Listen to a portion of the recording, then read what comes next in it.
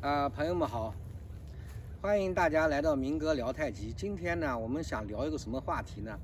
本来那个徐晓东和陈勇之战以后啊，呃，这个这件事情呢，呃，陈勇败过以后，呃，我我也做了这个聊天的一个话题。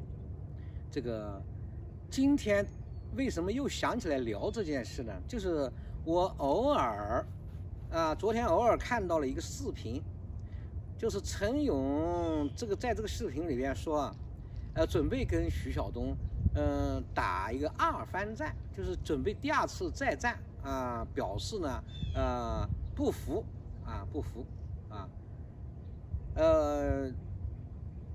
前段时间说的原因就是太阳太刺眼，垫子太软。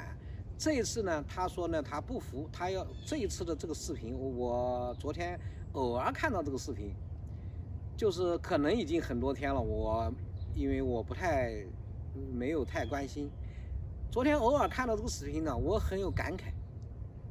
我感觉中国传武啊，这个不是实事求是。我们讲这个。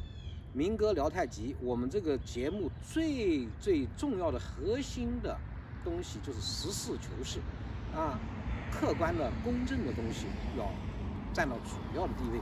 不管你在什么时候、什么方面，这个陈勇在这个视频中间说要进行二番战，他不服，啊呃等等，我感觉这个不是实事求是的态度。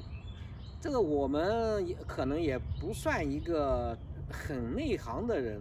因为对于擂台上的比赛，我们不是很内行，但是据我个人的观察，呃，呃，就是第一次陈勇和徐晓东在比赛的时候，我的感觉是，陈勇的这个比赛啊，是跟徐晓东相比还差得很远，啊，呃，不，他这个不服，我觉得是一种沽名钓誉。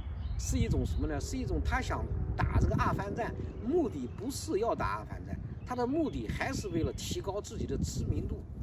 他想做一个第二个马保国，想像马保国一样全国都出名，然后自己成为一个名人。他的目的非常明显，我的感觉非常明显啊。这个你看他比赛的时候和徐晓东比赛的时候。啊，上台的时候基本上全身都僵的，全身都是僵掉的，都不会动了，啊，都不会动了。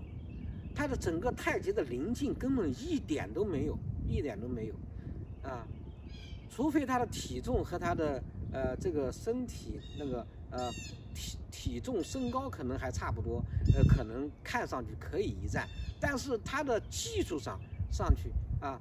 比赛的时候啊，几乎全身都僵掉了，太极的灵劲没有表现出来，啊，整劲表现出来是被打的那一拳的时候，人这个基本上没有啊啊，整劲灵劲都都基本上没有表现出来，太极的任何一个优点都没有发挥出来，啊，甚至都没有看到。啊所以我昨天偶尔看到这个视频以后，我感觉这个非常的，呃，非常的莫名其妙。后来我仔细一想，啊，他的目的是什么呢？就是为了提高自己的知名度，想做第二个马保国。我感觉这个是中国传武的一种耻辱，啊，作为一个中国传统武术的爱好者，爱好者，特别是一个。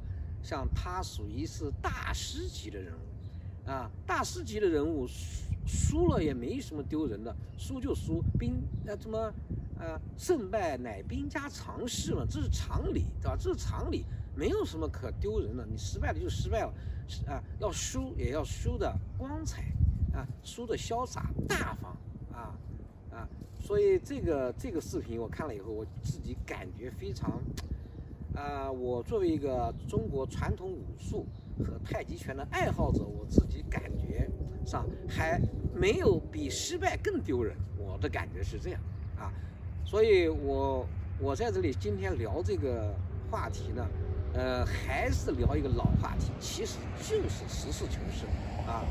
中国传统武术如果不实事求是的话，那真要颓废，真要淹没了啊！因为你不实事求是的话，那你在这个假大空的上面越走越越越远，越走越远，离实事求是越来越远了，对不对？好，今天我们聊这个关于呃这个实事求是的这个话题，我们就聊到这里啊。喜欢的朋友呢，可以订阅这个频道，我们下次呢再接着聊。谢谢大家。